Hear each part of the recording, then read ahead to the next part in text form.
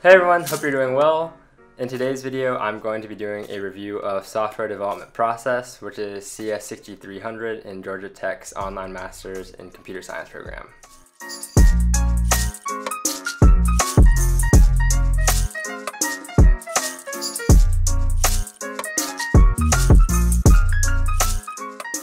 Some of you guys may know that I took this class alongside CS6601, which is Artificial Intelligence.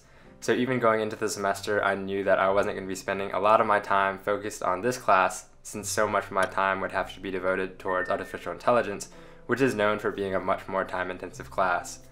I'll try my best to review it, but keep in mind that I went into the semester already being a software developer as my full-time job, plus I had a CS degree as my bachelor's degree, so I kind of took this class as just something to augment my other class for the semester.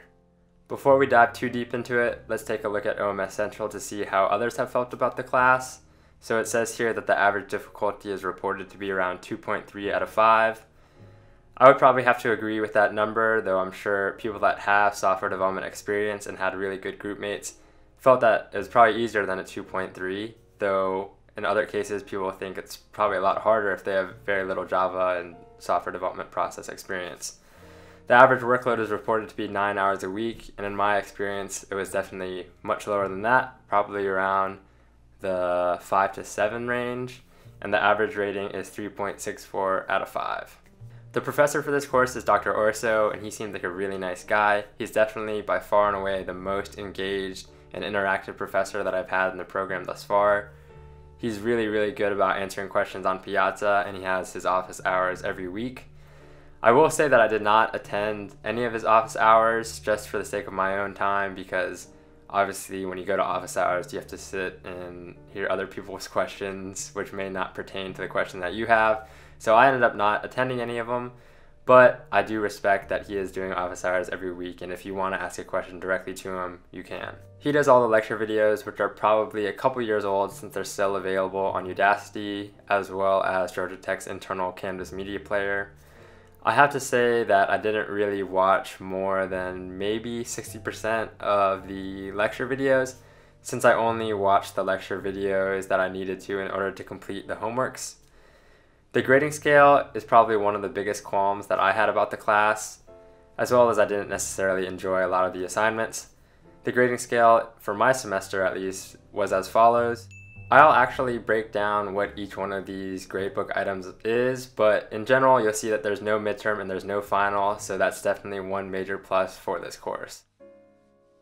Participation is basically free points. I think all you have to do is just click through the lecture videos on Canvas so they get marked as complete, and then answer the lecture quizzes that come up sometimes. You also might have to be active on Piazza. I'm not really sure how they decide if you're an active participant on Piazza, but basically I just asked like four questions throughout the semester on Piazza and got given 100 on the participation grade. Assignment one isn't really an assignment either. It's basically just filling out a survey with your availability and they use that to pair you with other members for the group project down the road. Assignment two is the first like actual assignment and it's Git usage and I think this is really useful if you haven't used Git before. In my case, I had used Git and I did kind of get exposed to a couple of new Git commands that I wasn't used to, but I don't think it's going to change my workflow really of basically Googling it if I don't know. And then next up is assignment three, which is the first real like programming assignment. So that's basically a simple LeetCode Java string question. It's probably considered a LeetCode easy and it kind of was a wake up call that I need to practice LeetCode and algorithm questions because I haven't done any like interview prep like that in a long, long time or really ever. But it shouldn't be that difficult for most people, and you also have to write a couple JUnit tests for it, and then it gets graded on Gradescope against some hidden tests that they have written. So overall, I think the first three grades are pretty easy, and you should be able to get 100 or close to 100 with minimal effort.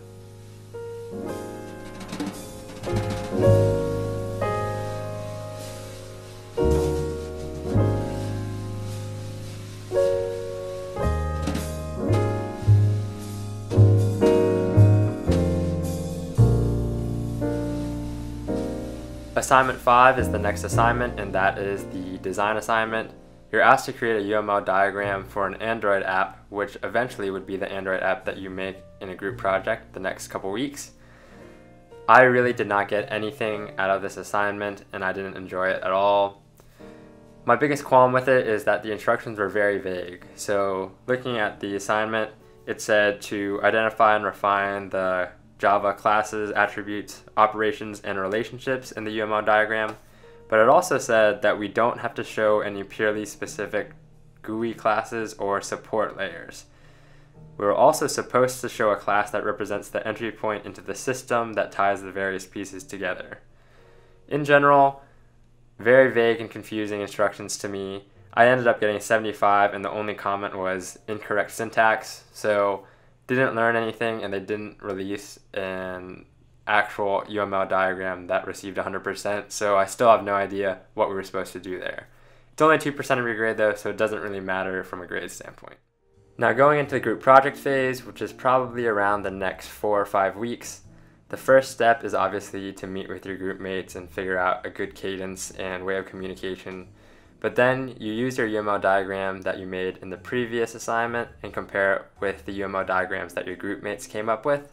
And then in theory, you're supposed to select the best one, designate it as the team's UML diagram, and then when you spend the two or three weeks, I think it's around two weeks actually, making and implementing the app, you can use that UML diagram as a reference.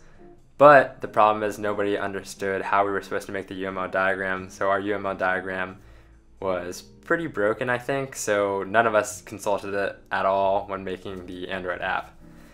I will have to say, no knock to my teammates at all. I think they would have to agree that we weren't the strongest team and that nobody had strong mobile app development skills. Most of us were early in our careers, I guess, or very limited software development experience, at least in this realm. And at this point, I was super, super busy with the AI course and with like my normal work.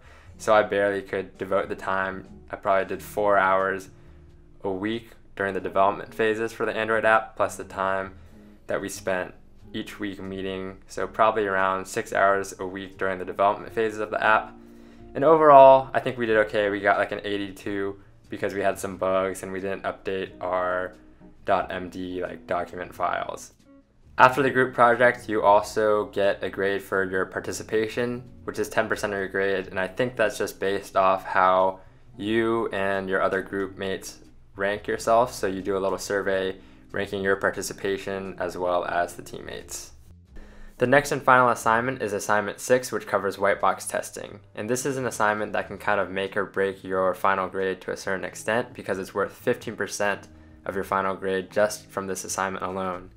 I definitely don't agree that it should be worth this much because I don't think white box testing is worth that much or is tested in that much detail in industry and the way that they ask the questions about white box testing were really tricky and not really indicative of a good functional understanding, in my opinion.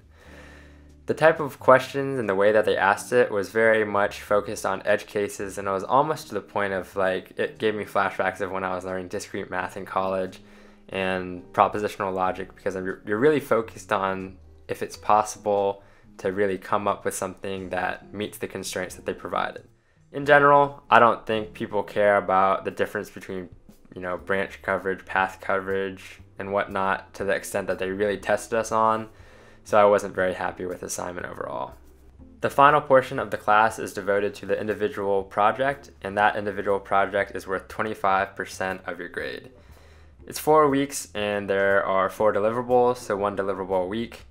I don't actually think it was publicized as to how much each deliverable was weighted into that total individual project grade, but I'll briefly touch upon what each deliverable was in our, in our experience this semester.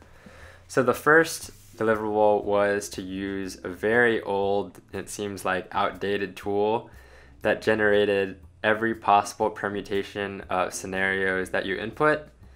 And basically the goal is to use those in the second deliverable in which you actually write the Java JUnit test suites based off those permutation of scenarios that you created in deliverable 1.